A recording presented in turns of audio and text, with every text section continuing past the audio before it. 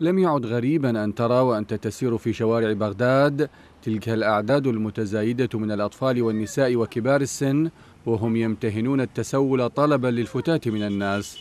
أما إذا كنت في مطعم أو في مكان عمل أو حتى في منزلك فسيطرق عليك المتسولون بابك في أي وقت من ليل أو نهار.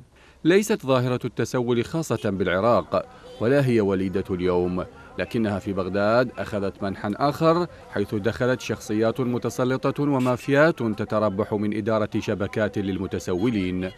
جملة من الأسباب ساهمت في زيادة الظاهرة منها الأزمات السياسية والاقتصادية التي أدت إلى زيادة نسب الفقر إلى أكثر من 40% بحسب تقرير للبنك الدولي إضافة إلى أسباب أخرى كالبطالة ووفاة المعيل وانتشار العوق الجسدي بسبب الحروب والتفجيرات.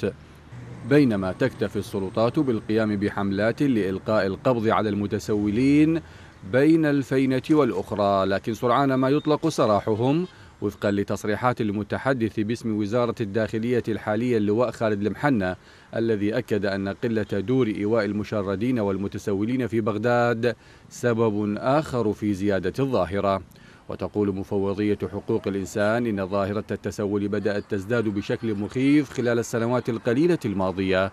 وهو ما يتسبب في تشويه صورة البلد الاجتماعية أمام العالم بينما تؤكد العديد من المراكز البحثية أن التسول تحول إلى مهنة تجارية تقف خلفها أحزاب ومافيات للكسب غير المشروع مشيرين إلى وجود علاقة مباشرة بين التسول والاتجار بالبشر حيث تقوم الشبكات والعصابات التي تقف خلف المتسولين بابتزازهم وتهديدهم.